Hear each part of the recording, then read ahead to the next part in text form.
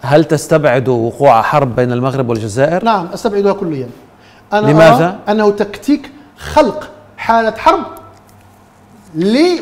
لإبقاء حالة من الشرعية لنظامين مهترئين متزعزعين سواء كان النظام الجزائري أو النظام في المغرب هم الآن أمام استحقاقات تاريخية آه، أمام شعوبهم أولا ليس هناك انفتاح سياسي خاصة في الجزائر اثنين أزمة كورونا آه، آه، هناك إدارة غريبة عجيبة.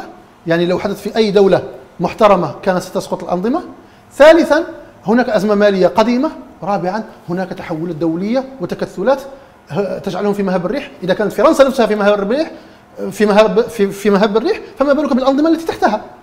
فأنا أقول أنه خلق محاولة خلق حالة حرب الآن لا يزيد من الشعوب المغاربية إلا تماسكا وإلا تفاؤلا. بتغير الوضع على المستوى السياسي وأنه الشعوب لكن انظر يا أستاذ رضا فرنسا اليوم تتحكم كما فهمت منك بالجزائر وبالمغرب وعادت إلى تونس بقوة كما يبدو.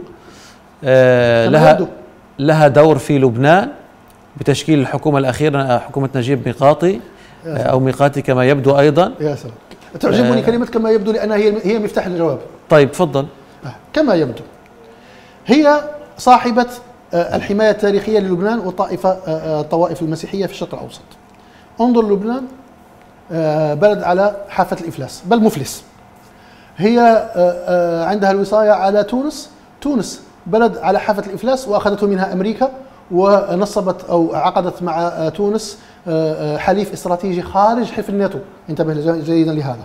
معنى ذلك أنها ستكون مرتكزا في الحركات البريطانية الأمريكية القادمة آه، بعد مشكلة تونس؟ نعم تونس.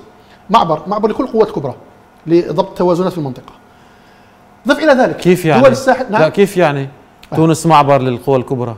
أنا شوف الحرب العالمية الأولى الثانية القوى البيزنطية القوى الإسلامية كلها عبرت على تونس. يعني هي معبر بري زي المعابر آه، جبل طارق وباب المندب وكذا. هناك معابر بحرية هذه. هناك معابر برية. ألم تنتهي أشكال هذه الحروب أبداً. يا أستاذ رضا؟ أبدا هي متجددة الأشكال متعددة الأشكال ومتجددة ونراها الآن أمامنا يعني بس أنت ضع القطع. آه، مشكلتنا تعرف إيش؟ مشكلتنا أننا لا نقرأ الخرائط ولا نسمع كلام كلام الرؤساء وصانع القرار. وعندنا آه، قوة رصد ضعيفة جدا وخارج خارج مجال التغطية بين قوسين أغلق القوس. سأقول فرنسا فشلت. في لبنان دولة مفلسة. كل وظائفها التاريخية أفلست فيها. حماية المسيحيين في العالم. لبنان مفلسة. تونس آه، خرجت من أيديها. المغرب أصبحت آه، آه، تحت كيف تونس خرجت من أيديها؟ كلما تضعف دولة قوية لها وظائف من يتحكم بالجيش التونسي اليوم وبقيس سعيد؟ فرنسا مخابرات فرنسية. لكن طيب. لا. هي تحاول أنها تملك القرار السياسي. لكن الأرض كأرض في تموضع عسكري أمريكي. فعسكريا أمريكية سياسيا فرنسيا. واللعبة واضحة في تونس تحتاج ربما حلقة كاملة لعبة لعبة كبيرة. لكن ما حدث الآن وذهاب قيس سعيد إلى إلى الحكم الأحادي بهذه الطريقة البهلوانية؟ سوف يوصل تونس إلى إنسداد أيضا سياسي كما أوصله في لبنان. طيب أيضا دور فرنسا في الساحل. الدول قارن بين الدول الفرنكو أفريقية أو اللي عندها العملة الفرنكو افريقيه والدول الكومنولث الافريقيه دول الكومنولث ازدهرت فيها الاقتصاد ودول التي فيها فرنسا يتكلمون الفقر بطلاقة. فقيرة منتهية. فهي فاشلة على كل المستويات. فأكيد أيضا ستفشل على إدارة أو خلق فتنة بين الشعبين.